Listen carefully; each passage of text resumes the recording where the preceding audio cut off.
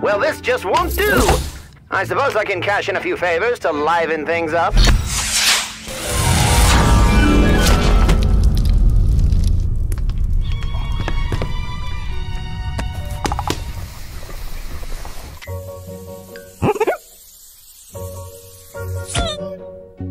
This little darling is nifty.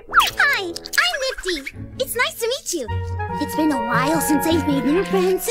Why are you all women? Are there any men here? I'm sorry if that's rude. Oh man, this place is filthy. It really needs a lady's touch, which is weird because you're all ladies, no offense. Oh my gosh, this is awful. No, no, no.